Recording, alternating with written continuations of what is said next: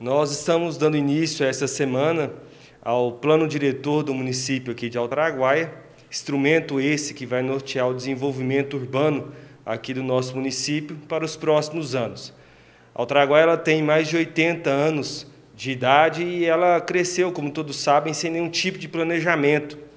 E o plano diretor ele vem trazer este planejamento para a expansão do nosso município, norteando aí áreas de comércio, é, áreas residenciais, transporte, meio ambiente, todo o desenvolvimento do município para os próximos anos. Essa é uma cobrança do prefeito Gustavo Melo para que nós estivéssemos dando início logo agora nos primeiros meses deste mandato ao plano diretor, que é um sonho antigo aqui do, do nosso município, para que nós possamos caminhar aí é, nas, nos, nos, trilhos do desenvolvimento, trazendo muito mais avanço para o nosso município, muito mais planejamento, tanto ele aqui na zona urbana, também como nas proximidades aqui da nossa cidade. Com relação a, aos membros, quem faz parte aí desses estudos?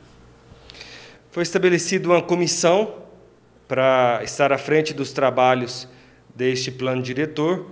Eu faço parte, outros secretários também fazem parte, representando suas pastas, e também a área técnica aqui do município, como engenharia e a parte administrativa, para estar trabalhando na elaboração deste plano diretor. Nós temos também uma empresa que vai estar nos auxiliando e nós estaremos dando início hoje às reuniões temáticas aqui na Prefeitura Municipal, na sala de reuniões, e durante o decorrer de toda a semana estaremos dialogando com toda a sociedade civil organizada para estarmos levantando todas as problemáticas aqui do município de Altaraguaia, como também as propostas de soluções.